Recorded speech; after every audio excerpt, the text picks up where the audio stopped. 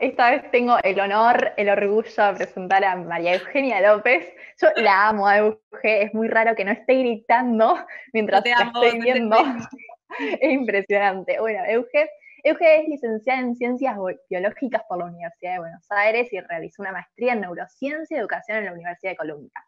Pero yo la voy a dejar que ella se presente porque me dijo, déjame, déjame todo a mí. Yo, bueno, nada, yo lo que hice Euge, yo lo hago, así que te dejo el escenario.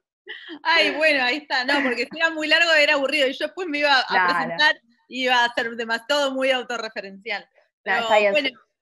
Si no decís algo, yo, te lo agrego, ahí estoy ahí. Vos, Estefi, quedate conmigo, ¿eh? Obvio, siempre. Este, estoy muy nerviosa, estoy, este, hablábamos con Johnny que, queríamos que nos saliera bien esta charla porque le pusieron tanto amor, tantas ganas, tanto trabajo y, energía a, este evento, que es el evento de la cuarentena del año, que realmente como que uno quiere estar a la altura y, tratar de, contar y de compartir cosas que, les gusten, que les sirvan y que estén a, a eso, al nivel de todo el esfuerzo y energía que, que tanta gente le puso. Entonces, este, bueno, para mí realmente me pone muy, muy contenta poder ser parte de esto. Eh, ya verles las caras, ya estuve viendo las charlas ayer y antes de ayer y, lo que, todo lo que contaron y las preguntas y ser parte de esta comunidad eh, es muy lindo siempre, pero sobre todo en estos momentos que está tan bueno sentirse parte de, algo más grande y un poco de eso eh, va a tratar mi charla. Eh, así que bueno, muchas gracias, gracias a todos y a todas y les voy a compartir la pantalla. Ah, eh, Steffi, si hablo muy rápido, si no se escucha, si me pongo insistente con algo, vos me avisás, ¿eh? Yo, te digo, yo te digo, tranqui. Bien. Ahí está. Bueno. Bueno, em, yo le decía a Steffi que no, no hacía falta que leyera eh, una bio que tenía mía que era bastante larga porque en, un ratito les, voy a contar a los que no me conocen lo que hago y para no ser tan redundante. Este, yo soy Euge López, soy eh, bióloga, como decía Steffi, estudié en la Universidad de Buenos Aires en Exactas eh, y trabajo en este momento de comunicar ciencia. por un lado tenemos un, programa de divulgación que se llama La Liga de la Ciencia, que sale en la televisión pública de Argentina, sale los sábados a las 19 horas, así que lo pueden ver, con Andrés, que también estuvo dando charlas, y con muchos este, columnistas de distintas disciplinas que tratamos de que sean lo más variados posibles y mostrar la diversidad de, de, la ciencia y de la ciencia que se hace en Argentina y en, en, otros lugares también. Después también trabajo en el equipo de educación del, Centro Cultural de la Ciencia, que es un museo, eh, es como un museo interactivo, bueno, es un poco más, por eso es un centro cultural, que abrió en 2015. Y eh, también trabajé en Ciencia a la Carta, que se estaba pasando, lo grabamos eh, ya hace unos años, pero lo, están pasando y lo, por Tech TV, que es el canal del Ministerio de Ciencia y Tecnología de Argentina, y también lo están pasando por Encuentro, que es un programa de cocina y ciencia. Juan, ese que está ahí, de acá, es este cocinero y yo, yo soy su amiga científica y entonces nos juntamos a cocinar y a ver qué ciencia hay detrás de los alimentos. Él, pues, él me enseña a cocinar. Yo no cocino muy bien, pero el programa parece que cocino peor, pero bueno, algo, algo de maña me doy. Pero bueno, al lado de Juan obviamente eh, me pasa el trapo y aprendí un montón de cosas. Y Juan también sabe de ciencia, pero bueno, él se hace el que no sabe y yo le cuento cosas y ese es el chiste. Y, este, y eh, la verdad que me, me re divirtió hacer ese programa. Es como que era un sueño, ¿no? Hacer un programa de cocina, siempre quise. Me encanta la comida, me encanta comer y de golpe hacer un programa de cocina fue muy divertido. Pero bueno, entonces yo me dedico a comunicar la ciencia. Así que eh, hoy les voy a estar contando por qué lo hago, cómo llegué a dedicarme a esto y de qué manera intento comunicar ciencia. Estefi, ¿vengo hablando muy rápido o venimos bien? Venimos perfecto. Bien. Eh, entonces, ¿por qué lo hago? ¿Por qué compartir ciencia? Bueno, creo que ustedes lo tienen clarísimo y por eso este, están organizando este evento eh, y también, bueno, quedó súper claro con muchas de las charlas que ya estuvimos escuchando, especialmente con la de Johnny, que, quedó clarísimo por qué es mejor tomar decisiones y políticas públicas basadas en evidencia. Pero bueno, les voy a contar también por qué me gusta a mí compartir ciencia. Y una de las razones es, cuando algo es muy rico, nos gusta mucho y queremos que otro lo pruebe, ¿no? Queremos compartirlo. Esto es una tostada con palta y huevo. Este, desayuné, me di un gusto, me hice esto ayer y me gustaba mucho, y esto de la cuarentena te da ganas de compartir, porque en definitiva cuando algo te gusta mucho, escuchas una canción que te gusta mucho, querés compartirlo, querés, querés que las personas que querés también lo disfruten tanto como vos, y con la ciencia un poco creo que nos pasa eso, nos, nos gusta, nos parece lindo, nos parece bello, y queremos que otras personas también compartan esa, esa forma de ver el mundo. Pero además de una bella manera de ver el mundo, es una muy útil. Así que yo eh, antes de,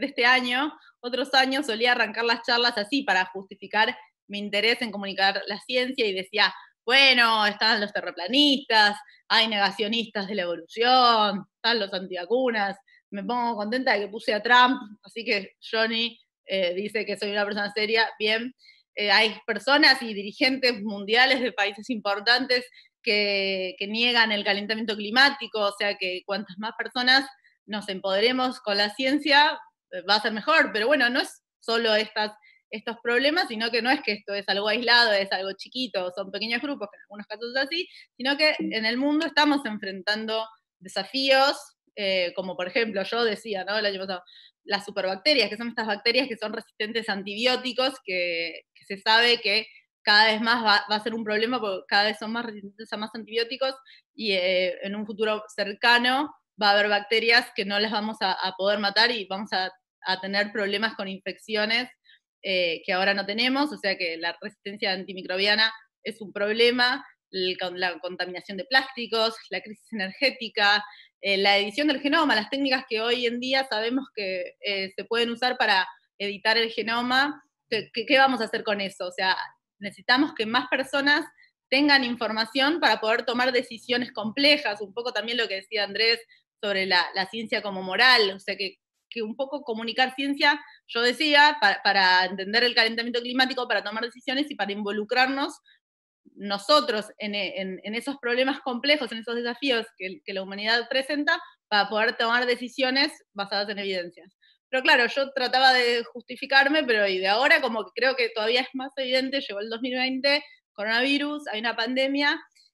eh, quizás ahora resulte más eh, tangible porque no alcanza con, que algunos pocos eh, sepan de, temas específicos y a veces la ciencia se especializa cada vez más, sino que hace falta que haya una, alfabetización científica, que, todos y todas nos involucremos y que entendamos de estos temas complejos y que sepamos cuál es la mejor manera de, buscar información confiable y de tomar decisiones eh, basadas en evidencia y de poder eh, manejar temas complejos porque están sucediendo cosas complejas y amerita que todos, este, además de disfrutarlo porque es una bella manera de ver el mundo, es una manera útil de ver el mundo.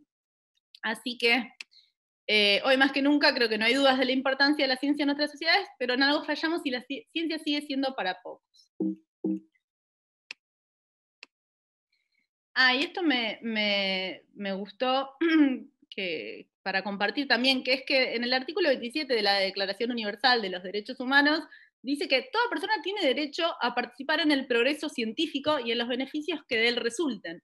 Toda persona tiene derecho a la protección de los intereses morales y materiales que le correspondan por razón de las producciones científicas. O sea que tenemos derecho a la ciencia y eso me parece genial, pero para, para poder ejercerlo también tenemos que conocerlo, ¿no? Para que todo esto suceda, todos y todas tenemos que tener acceso, tenemos que conocer qué ciencia se hace y poder ser parte, poder sentirnos parte de, esa comunidad grande, de esta aventura científica que tiene que ver tiene muchas dimensiones y de la que todos y todas deberíamos ser parte porque estamos atravesando estas situaciones complejas y además, de vuelta, de una linda manera de ver el mundo y de disfrutar y de pasarla bien y de curiosear, también es una manera útil. Así que bueno, eso de eh, por qué creo que, está bueno comunicar ciencia, compartir ciencia. Y ahora eh, les voy a contar rápidamente, para que miro la hora. Eh, ok cómo llegué a dedicarme a comunicar ciencia. Y por eso le decía a Steffi que no hacía falta la, larga bio, porque yo les voy a contar un poco de, mi vida y, así no, era tan redundante. Bueno, ¿por qué me ¿cómo hice para llegar a, trabajar de compartir ciencia? Eh, eh, hay muchas personas involucradas, así que voy a intentar hacer un resumen de mi vida, porque cuando uno mira para atrás parece lógico, pero no parecía para nada así cuando estaba ahí. Y, si le pudiera decir algo a la Euge del pasado, le diría, soy así, vos conocés gente copada, va a estar todo bien. Es una recomendación que, creo que, ustedes ya la están tomando, se están conectando, están eh, hablando entre ustedes, pensando cosas, pensando proyectos, creando, y, creo que, ya generaron una comunidad hermosa que crece cada vez más y que está buena. Bueno, esta es mi vida, no, al menos un pedazo de mi vida. Nací en Buenos Aires en 1986. Mi madre, amante de los bichos, eso es importante, creo, así como siempre, habría levantado una piedra para ver qué bichos había. Y bueno, en mi casa había muchos libros, eso también creo que, ya es, es algo que, nada, saber mis, privilegios, eh, de por qué tuve la oportunidad. Creo que cualquiera que tuviera tuviera la oportunidad de, que tuve yo hubiera terminado dedicándose a la ciencia porque era como que ahora que lo veo para atrás era, era medio obvio. Pero bueno, en ese momento no. Ah, en 1991 hice una publicidad de mayonesa, la pueden buscar, está en YouTube. En 1993 nos mudamos a Uruguay con mi familia. Eh, adoptamos un perro, le pusimos Darwin porque era un beagle. Entonces, como era un beagle, no sé, se ve que había algo ahí en mi familia, le pusimos Darwin en Uruguay eh, tuve una infancia muy linda, íbamos mucho a la playa y a la naturaleza y al campo y muchos animales y muchos bichos. En 1998 mi papá se enfermó y nos tuvimos que volver a Buenos Aires y eso fue triste. En 2002 mi mamá me regaló este libro que es Genoma, que es este, una, un libro que me encantó. Yo era adolescente y este libro era la, la época del genoma humano y tiene 23 capítulos, son 23 cromosomas y cada uno te cuenta una historia y te cuenta eh, eh, cosas del genoma, pero está dividido como en 23 capítulos y está muy bien escrito y, me gustó mucho. Y quizás también por eso, eh, poco motivada, como que ya me interesaba un poco la ciencia, vinieron unos biólogos y unas biólogas locas a, mi colegio y nos invitaron a una aventura que era Expedición Ciencia, que era el 2003, que a, los que fueron a Expedición Ciencia ahora es fácil, pero en el 2003 era el primer campamento, había que animarse, no se sabía dónde íbamos, no había Facebook, no había, no había redes sociales, no había, creo que tuve que hacer el formulario a mano y mandarlo en un sobre, o sea, una locura. Y este, me acuerdo que mi hermana decía que me iba al campamento Krusty, porque realmente no sabíamos bien dónde íbamos, pero yo escuchaba aventura, naturaleza, ciencia y gente, no podía salir mal, eran eh, bueno, chicos y chicas de, todo el país. Así que eh, fue muy lindo, me hice muchos amigos y muchas amigas. Este, conocí a Meli Furman, a Mile, a Gaby, a Pedro, Diego, personas que después se volvieron clave en mi vida, así que eso fue muy importante. Y también fue muy importante porque ese año también murió mi papá y fue súper importante sentirme parte de algo más grande, ¿no? Como esto de ser parte de una comunidad y de encontrar un, un sentido, un propósito, sobre todo cuando uno está triste o está perdido, saberse parte de esa red ayudó mucho, así que a mí me ayudó muchísimo. Ah, y también gracias a Expedición Ciencia, eh, supongo que ese año eh, leí El hombre que confundió a su mujer con un sombrero, creo que Mille nos lo había recomendado y también me voló la cabeza. Y bueno, después también leí El gen egoísta, más o menos por esa época, que es un libro que también súper recomiendo de Richard Dawkins. Y un poco toda esta mezcolanza hizo que decidiera estudiar eh, biología en exactas en la UBA Ahí también mis amigos y amigas. Eh, bueno, en la primera materia, en Orgánica 1, yo sé que esta historia a Steffi le divierte mucho. Me hice amiga de Facu, del gato y la caja, eh, que, también es como, los amigos y las amigas que uno se hace después tienen tanta importancia en su vida, ahora estamos trabajando juntos y haciendo proyectos juntos, y es simplemente nos tocó juntos en el laboratorio de Inorgánica 1, pero bueno, los amigos que se hacen en la facultad también se vuelven personas importantísimas y se conectan todos los puntos y cuando uno para atrás, mira para atrás, parece que todo tiene sentido, pero en definitiva es una construcción hermosa de, personas que se van conociendo con intereses comunes y que van aprendiendo gracias a que comparten la información, los sentimientos, las decisiones y la mirada del mundo y eso eh, evidentemente uno termina siendo fruto de, esas, de esas conexiones, por eso lo cuento. Ah, y en esa época leí un libro buenísimo, Tiempo, Amor, Memoria, en busca de los orígenes del comportamiento, se los súper recomiendo. Es un libro eh, escrito por un periodista, me dio calor, por un este, periodista científico, que también ahora en retrospectiva me doy cuenta que no solo me interesaba la ciencia, el contenido, la historia es bellísima, es la historia de, cómo eh, un investigador va buscando los átomos del comportamiento en los cromosomas de la mosca de la fruta, pero también es la historia de la genética en general. Y, Y, este, y también me, lo que les iba a decir es que me, gustó mucho este libro por, cómo está escrito, tiene mucha poesía, está, y me doy cuenta que, que también tienen que ver eh, los libros de, ciencia que, que, me fueron gustando y que me fui topando, también me, en ese momento no me da cuenta, pero ahora me doy cuenta que me gustaba también el, relato, la historia, contar la historia, no, no solo la investigación, sino la, historia a través de eso, las personas que lo hacían. Hice investigación, me metí en un laboratorio de neurobiología y, miraba neuronas en microscopio fluorescentes. La primera semana estuvo muy lindo, después se volvió un poco repetitivo. Por suerte vino Gaby Geloni me invitó a sumarme a Ciencia en Marcha, que fue un, proyecto muy lindo que hacíamos, hacíamos desembarcos con una especie de, combi eh, que íbamos así de un bus que íbamos a escuelas y hacíamos desembarcos de, con, distintas actividades de, neurociencia, de matemática, de física, a, escuelas que quedaban eh, entre cerca y lejos de, la ciudad de Buenos Aires, algunas más cerca, otras más lejos, pero todas por acá, pero soñábamos con recorrer el país y era un proyecto muy lindo, también conocí gente muy linda. Y en 2010 me recibí y ahí como que dije, uh, ¿qué hago? No sé qué hacer, y ahí como que se complicó un poco, era como que hice un doctorado, empecé un doctorado, pero estaba confundida eh, lo, empecé porque no sabía qué hacer y di muchas vueltas, y en esas vueltas grabamos Ciencia a la Carta en el 2002, en esa, en esa eh, eh, vueltas que da la vida, como que no, estaba un poco perdida, no sabía si dejarlo, si no, y me, invitaron a sumarme al proyecto de Ciencia a la Carta, que era la primera temporada de este programa de Cocina y Ciencia. Después, a raíz de eso, hicimos eventos en Tecnópolis y empecé, además de a, darme cuenta que me gustaba esto de, comunicar la ciencia, ahí lo conocí a Andrés, que es mi, eh, compañero en la Liga de la Ciencia, y pedí mucha ayuda, así que muchos de los responsables de que yo estaba en ese momento, como Meli y, Gaby, muchos me, me, ayudaron. Así que en el 2013 dije, bueno, voy a tratar de unir la neurociencia que me interesaba y la educación en una maestría de neurociencia y educación, así que me fui a Nueva York a hacer esa maestría y bueno, falta poco.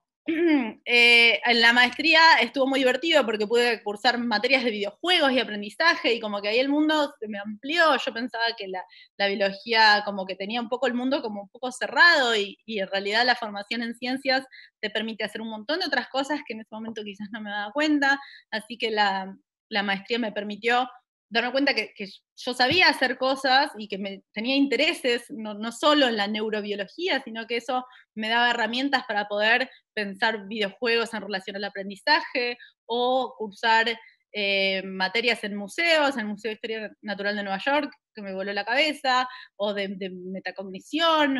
o de, más de, de neurociencia y los medios, ya ahí como que me hizo bien para como ampliar el horizonte y darme cuenta de que había más cosas que me interesaban, mis muchos amigos y amigas, que eso siempre está bien. Y en el 2015 volví a Buenos Aires. Ah, un detalle de esos amigos y amigas que me hice. Uno de, me fui con una beca a Estados Unidos y es gracioso porque uno de, de mis amigos que también se fue con la beca, había ido a Expedición Ciencia en el 2003, era mi amigo Santi, cordobés, así que terminé viviendo, siendo roommates con Santi, y también me, me gusta esa historia porque es como que realmente las, las, este, las personas y las historias se entrecruzan y las personas que nos interesan estas cosas terminamos siempre como buscándonos y encontrándonos y, armando y amplificando estas comunidades de personas con, intereses y con curiosidad. Así que eso también fue muy lindo. Y en el 2015 eh, volví a Buenos Aires. Eh, Gaby estaba armando el equipo de educación del Centro Cultural de la Ciencia, Gaby Gelón, así que me sumé con mucho entusiasmo, un sueño, trabajar en un museo. En el 2017 arrancamos con la Liga de la Ciencia, eh, también porque un poco lo conocía Andy, un poco tenía experiencia con, con ciencia y tele en Ciencia a la Carta. En el 2018 diseñamos unas salas de escape científicas en el C3, eh, junto con un compañero que es diseñador industrial, que fue muy divertido y eso les voy a contar un poquito más porque me gustó mucho. En el 2018 leí este libro que se lo súper recomiendo, se llama La invención de la naturaleza, el nuevo mundo de Alexander von Humboldt. Son los viajes de Humboldt, es la vida, la biografía de Humboldt, pero también la biografía de todas las personas que se vieron influenciadas por Humboldt. Entonces, hay, por ejemplo, un capítulo de Darwin o de Haeckel, que es ese que hacía esos dibujos increíbles de la naturaleza, y Humboldt es, es uno de mis naturalistas preferidos porque él empezó a entender la naturaleza como una red de cosas interconectadas, hasta ese momento la naturaleza eran como recursos, ¿no? Como el Age of Empires, como que veías un bosque y veías madera, y, bueno, puedo hacer una aldea, pero eh, hasta ese momento no se entendía que si tocabas acá, si explotabas este recurso, si talabas un bosque, después eso tenía consecuencias y que esas consecuencias iban tenían impactos globales porque en definitiva todos los ecosistemas y todo estaba interconectado en una enorme red y que el planeta era uno solo. Y Humboldt fue el primero en darse cuenta de eso y además era como un divulgador, el chabón daba unas clases increíbles y la gente en Berlín iba a decir, oh, che, hoy habla Humboldt, va, sí, yo voy, iba, iban todos y todas, era bastante popular, y entonces eso también me parece muy copado y el libro es muy lindo de Andrea Wolf, si pueden leerlo, está espectacular. Eh, les, voy tirando esa porque, en definitiva, para que se hagan una idea de cómo es que, uno llega a comunicar ciencia y por qué, cuáles son las influencias, ¿no? Además de las personas, los libros y las personas que te recomiendan libros también forman una red interconectada de cosas, me parece muy flashero. En 2019 hicimos la segunda temporada de Ciencia a la Carta y este, en febrero leí este libro que me lo recomendó Facu, que, eh, del gato de la caja, que es mi amigo, que es este, el libro está escrito por Sasha Sagan, que es la hija de Carl Sagan, y se llama For Small Creatures Such as We, que sería algo así como para pequeñas criaturas como nosotros.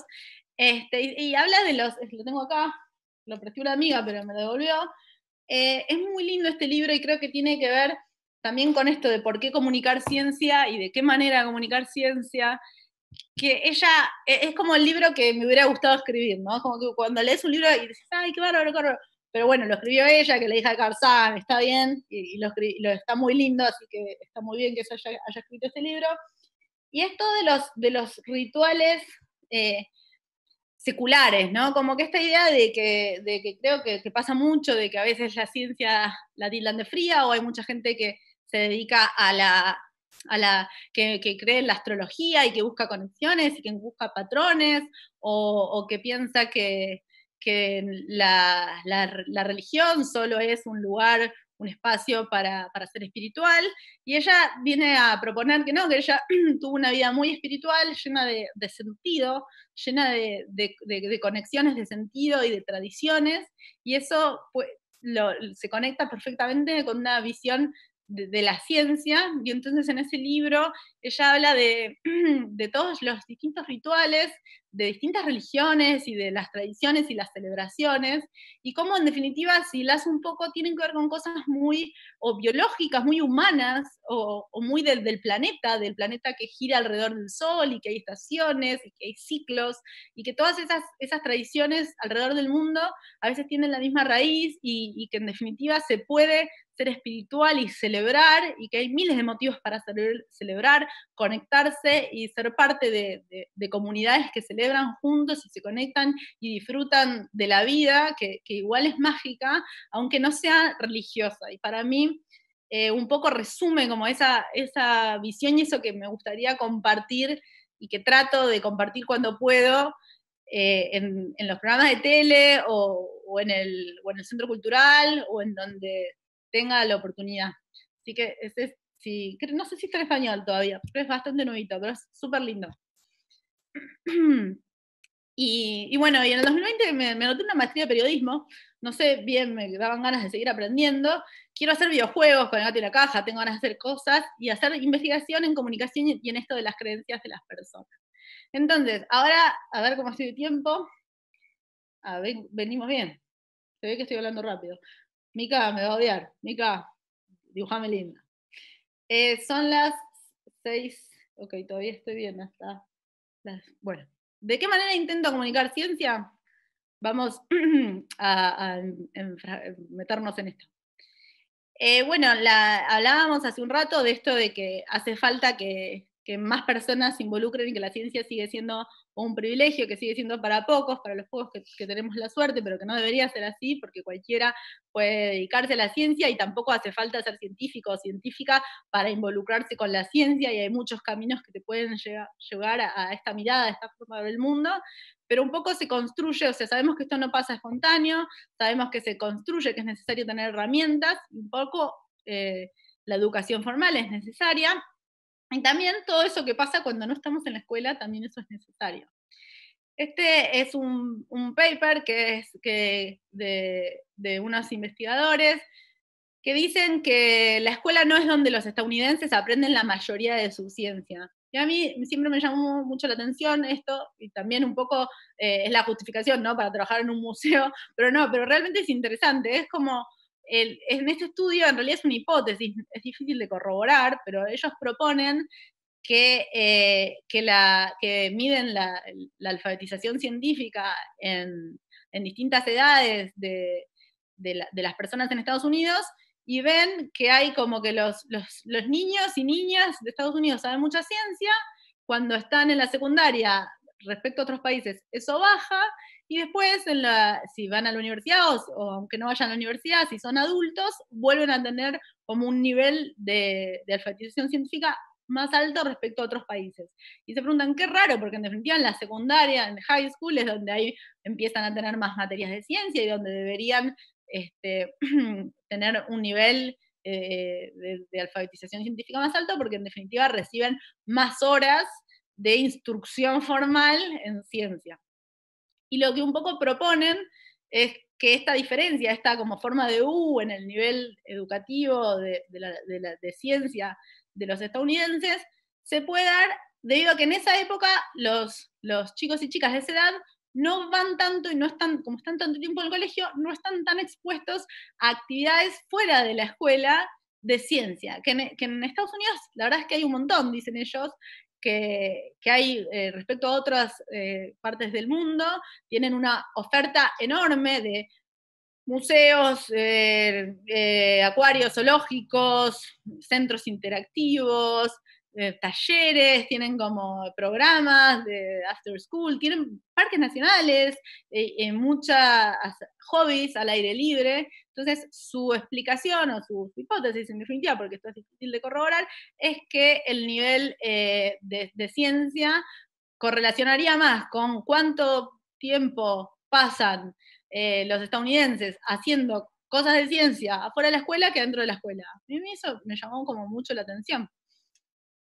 Eh, así que, ¿qué es afuera de la escuela? Es todo esto, viendo películas, viendo Rick and Morty, leyendo libros, teniendo hobbies que puede ser la astronomía, viendo documentales, haciendo actividades al aire libre, yendo a museos, etc. Y, entonces a mí este, esto también me, llevó a, como a tratar de leer más y a ver si, cómo es que uno puede aprender ciencia en ambientes informales, o sea, en, en ambientes que no son la escuela. Y la pregunta es, ¿las personas aprenden ciencia fuera de la escuela? Yo creo que un poco las dos cosas, ¿no? Obviamente tienen que suceder las herramientas necesarias para que después podamos disfrutar y de aprender en nuestro tiempo libre y, sobre todo aprender toda la vida, ¿no? Porque se trata de eso, de, tener las, las, herramientas para aprender a aprender y poder aprender lo que queramos durante toda nuestra vida. Pero bueno, en este libro que habla específicamente de cómo las personas aprenden ciencia en ambientes no formales, se preguntan si, este, si esto sucede eh, la aclaración es esta, que no es espontáneo, no alcanza poner en contacto a las personas con la ciencia, ciencia, gente con los cansé, no, no alcanza, hay que generar esos andamios para poder anclar el conocimiento, eh, pero la respuesta es sí, o sea, las personas de ambientes informales eh, aprenden ciencia y en el libro lo dividen en seis ejes, y a mí estos seis ejes me sirven para cuando pienso en, actividades, ya sea en el centro cultural o también en en la tele o en otros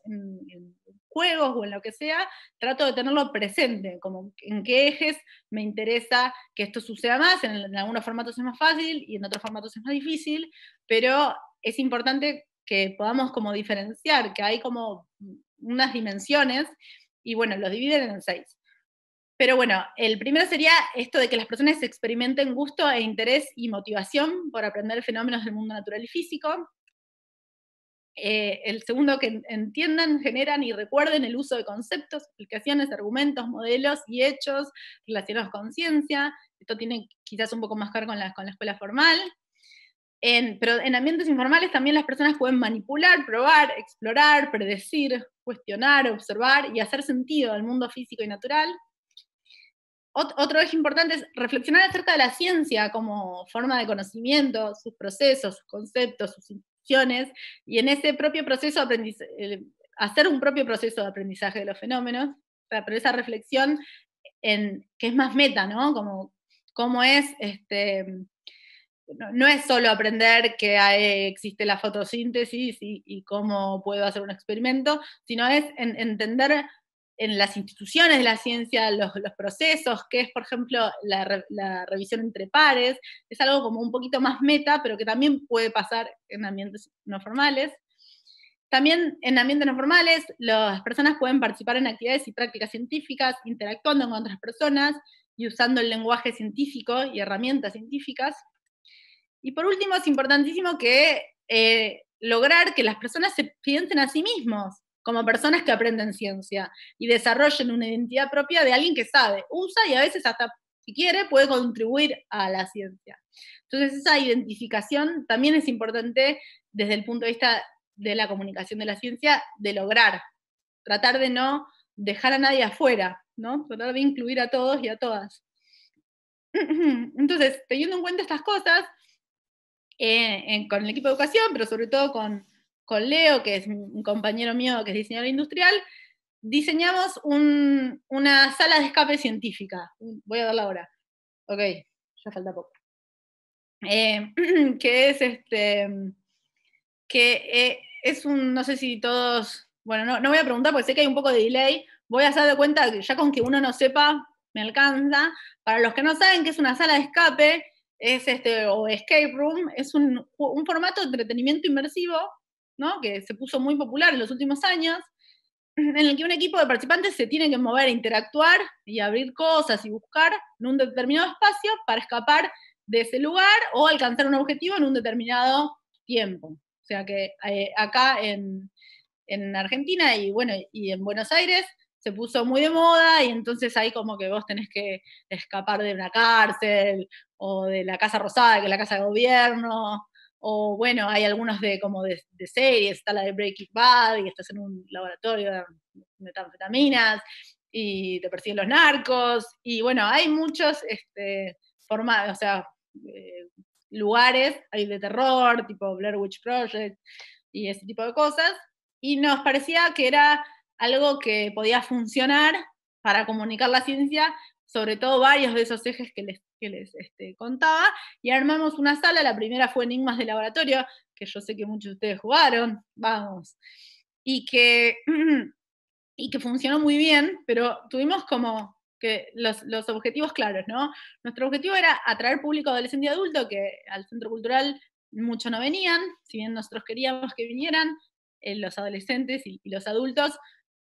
piensan que es algo de chicos, de chicos chicos, de chicos y chicas, de, niños y niñas menores, y que la ciencia divertirse en un centro cultural de ciencia no, no es necesariamente algo para ellos.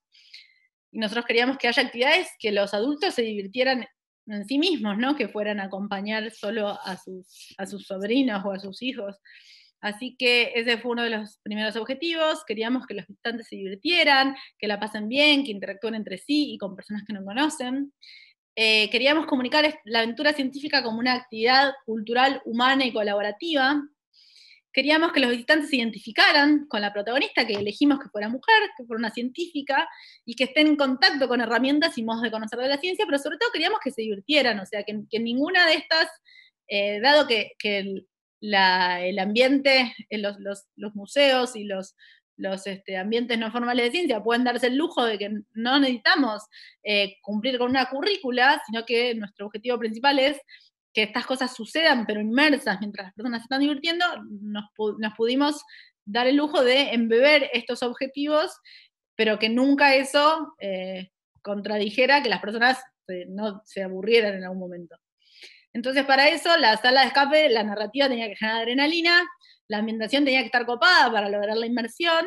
y los acertijos tenían que, esto es muy interesante, si a alguno le interesa el desarrollo de juegos, eh, y en, la,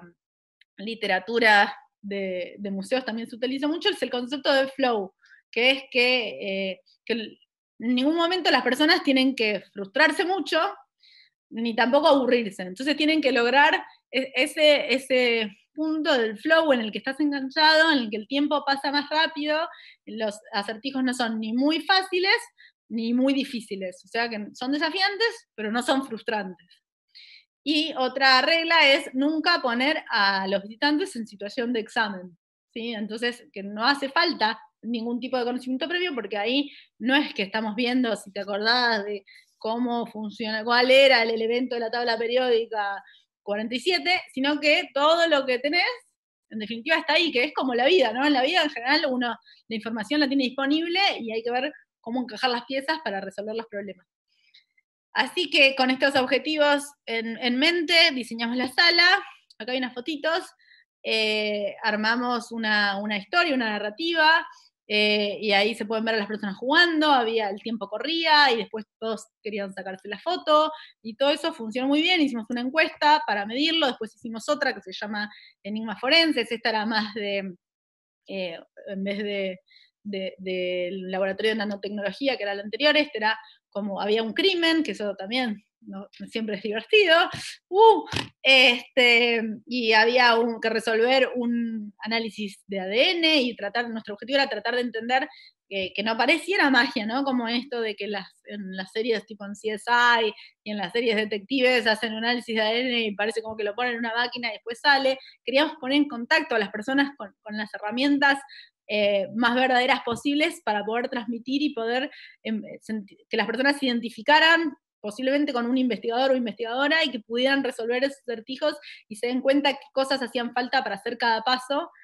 Y bueno, acá este, pueden ver las fotos, hicimos una encuesta y hicimos preguntas y todavía estamos investigando, pero bueno, ahora se trabó todo un poco, pero la idea es este, que funcionó, vino gente, vino el, público que nosotros queríamos, se divertían y, y nos preguntábamos también si, si, bueno, estas son gráficos acá, si, si,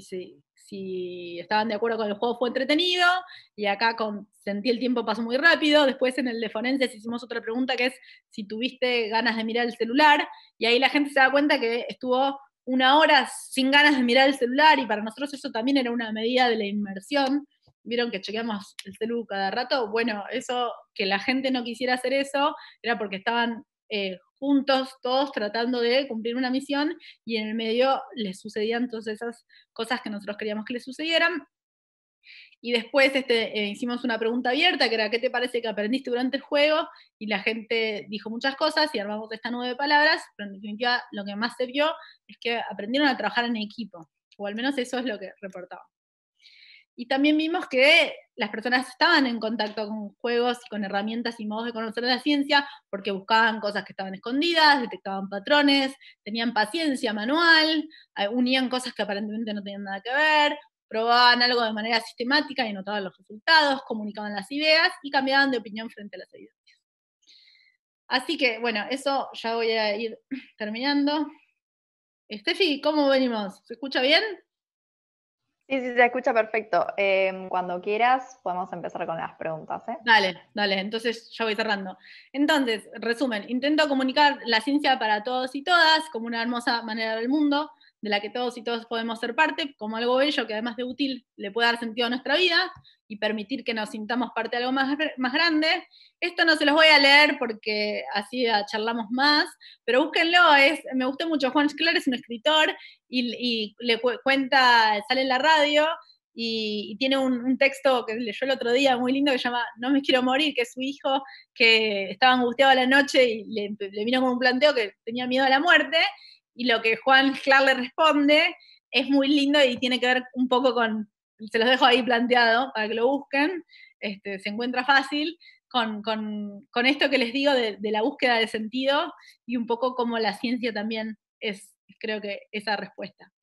Y, y esto que les decía de Sasha Sagan, de que Saya dice, puedo vivir sin Dios, sin celebraciones, pero no sin rituales, sin comunidad. No es necesario la fe para ver el mundo lleno de milagros y sentido profundo. Y creo que lo que están haciendo Nación Ciencia y lo que, lo que se construye cuando uno tiene este, este, estos intereses y esta forma de ver el mundo. Estas son mi, comunidad de gente de Expedición Ciencia, los copilotos del Centro Cultural de la Ciencia, las personas que hacen la Liga de la Ciencia, todos forman una red de personas que, le dan sentido y, nos hacen sentir parte y creo que eso también es algo muy lindo de, de poder compartir ciencia. Muchas gracias.